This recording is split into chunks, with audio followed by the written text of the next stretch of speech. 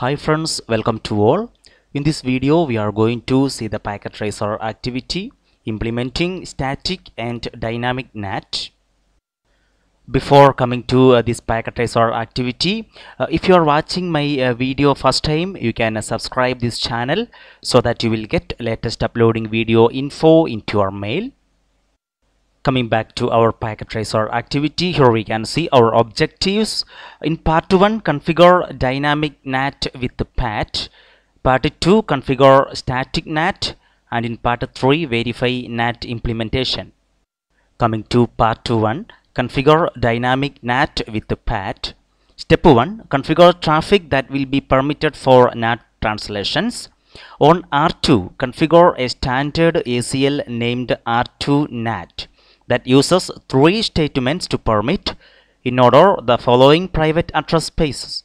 Here we can see those 192.168.10.0 network, 20.0 network and 30.0 network. Coming to our packet tracer, uh, in this topology here we can see the details uh, they specified here.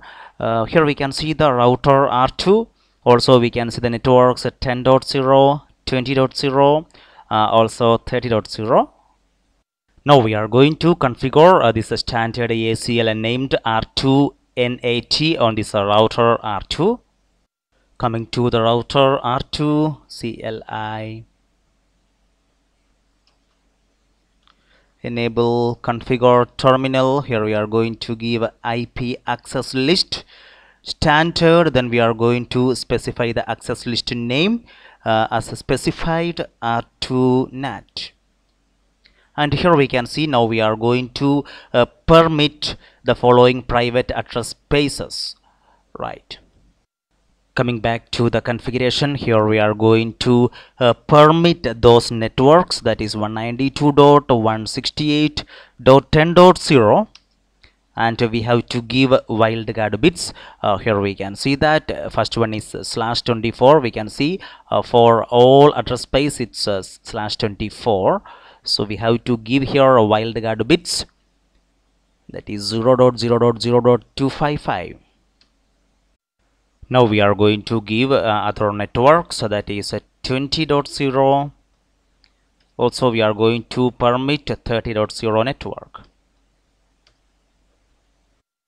now we will come to step 2 configure a pool of addresses for NAT configure R2 with a NAT pool named R2 pool that uses the first address in the 209.165.202.128/30 address space.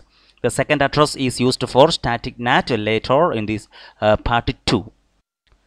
Well, coming to the configuration, we will exit from this uh, mode. Then here we are going to give IP NAT pool. We are going to create the pool specified that is a R2 pool. And now we are going to give the stat IP address. Here we can see as the specified uh, from this network 209.165.202.128 network. We are going to use the first address. So that is uh, here we will uh, copy this address so it will be more easy and this is a network address. Here we are going to use the first address that is 129 and here we can see the end IP address. Here we are going to use only one address. So we are going to give the same IP address here. That is uh, 129 now we have to give a net mask and we have to specify the network mask. Here we can see the CIDR uh, uh, given is uh, slash 30 so here the mask is a 255.255.255.252 coming to step 3 associate the named ACL with the NAT pool and enable PAT well coming to the configuration on uh, the router R2 here we are going to give IP NAT inside source. Here we are going to specify access list. And we have to give the name. Here we can see that R2 NAT.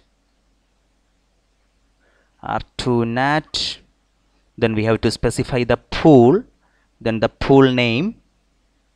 Here we can see that R2 pool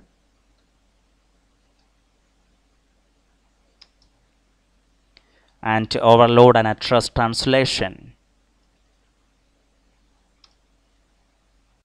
Coming to step 4 configure the NAT interfaces. Configure R2 interfaces with the appropriate inside and outside NAT commands. Coming to the topology here we can see uh, in this router R2 uh, the interface uh, you'll see the interface uh, serial 0 slash 1 slash 0 uh, is a NAT uh, outside. Here we can see serial 0 slash 0 slash 1 NAT inside. Here we can see serial 0 slash 0 slash 0 NAT inside. Also here we can see fast ethernet 0 slash 0 NAT inside. Well coming to the configuration we will go to the interface uh, serial 0 slash 1 slash 0 and here we will give IP NAT outside also we will go to the next interface uh, that is uh, serial 0 slash 0 slash 1 remaining everything IP NAT inside. Also we have the next serial interface that is serial 0 slash 0 slash 0 IP NAT inside.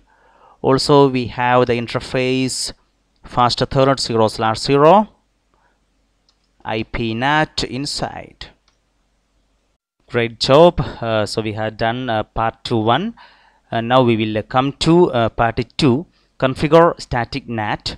Refer to the topology.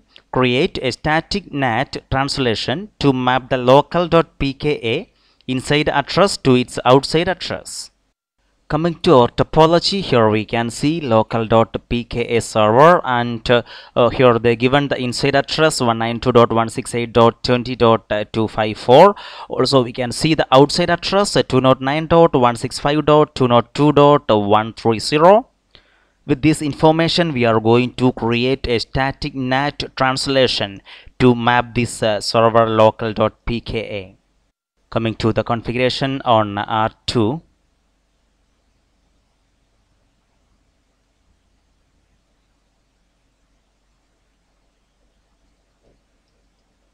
so here we are going to give ip nat inside source. So here we are going to give static. Now we are going to give inside local ip address.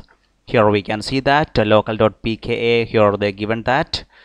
That is 192.168.20.254 and now we are going to give inside global IP address that is 209 dot 165 dot 202 dot 130 yes all the informations are correct. Now we are going to press enter. Now we will come to part 3 verify NAT implementation. In that step 1 access services across the internet a. From the web browser of PC1 or PC3 access the web page for cisco.pka coming to the topology here we can see uh, the PC PC1 and cisco.pka server. Coming to PC1 desktop web browser. Here we are going to give cisco.pka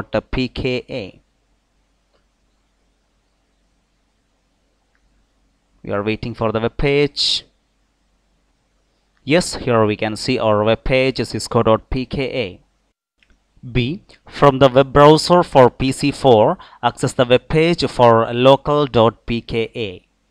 Here we can see our PC4. We are going to access uh, uh, this local.pka.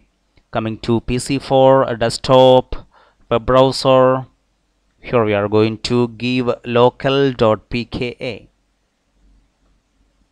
And here we can see the web page. Coming to step 2 view NAT translations. View the NAT translations on R2 we have to give this command show IP NAT translations. Coming to R2 here we are going to give the command show IP NAT translations. And here we can see the details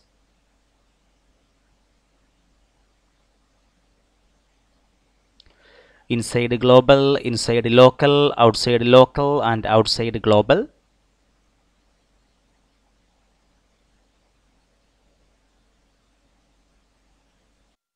Well, that's all in this packet tracer activity implementing static and dynamic NAT. Here we can see the completion status 8 out of 8. Friends, if you have any doubt in this packet tracer activity, please comment below. Also, if you like my video, give a thumb and don't forget to subscribe the channel so that you will get latest uploading video info into our mail. Thank you.